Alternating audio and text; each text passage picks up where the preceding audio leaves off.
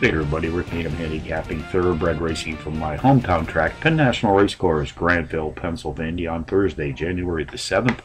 This is my day at the track.com race of the day. Stay with race 5 tonight, folks, 7.49 p.m. Eastern Post Time.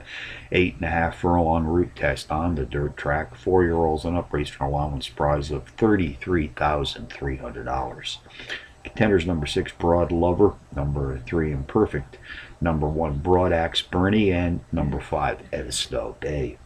Number six, Broad Lover takes a class trap of five TrackMaster units this evening as the pace profile leader in its allowance field, racing at or about tonight's distance of eight and a half furlongs on the dirt. Has hit the board in power run fashion in each of his last five, including back to back power run wins in his last two starts. Facing better company in both of those races than he'll face in this field tonight. Number three, Imperfect, has hit the board in power run fashion in both of his last two adventures, including a power run win in his second race back. He missed the opportunity for back-to-back wins in his last start by just a photographed nose at the wire.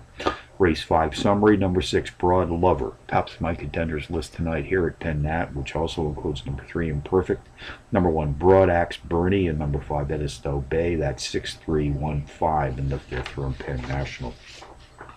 Bonus long shots, Turfway Park Race 4, the 20 to 1 bomb, number 7 Rephrase.